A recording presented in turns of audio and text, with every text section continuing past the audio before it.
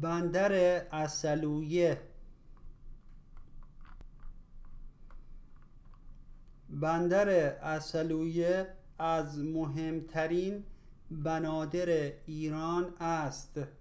شهرستان اصلویه یکی از شهرهای استان بوشهر است که در جنوب ایران و در کرانه خلیج فارس قرار دارد.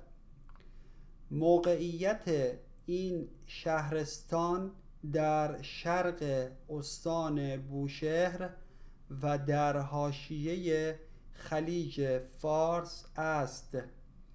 از ویژگی های بارز این شهرستان می توان به دسترسی داشتن مستقیم به آب دریا عمق مناسب سواحل از نظر بندری وجود نیروی کار بالقوه در شهرها و روستاهای اطراف طبیعت سرسبز و چشماندازهای طبیعی زیبا اشاره کرد. اصلویه یکی از مهمترین پایگاه های اقتصادی ایران و یکی از بزرگترین مناطق تولید انرژی جهان است.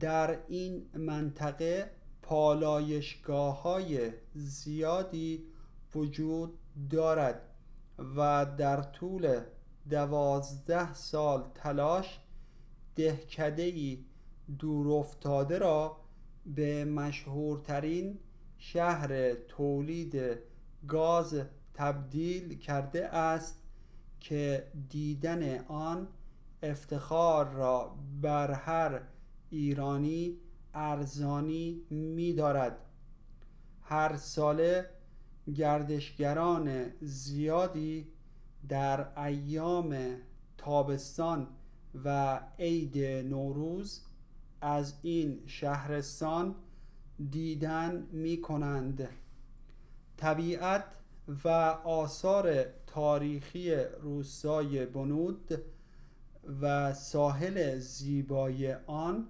از مناطق دیدنی شهرستان اصلویه است.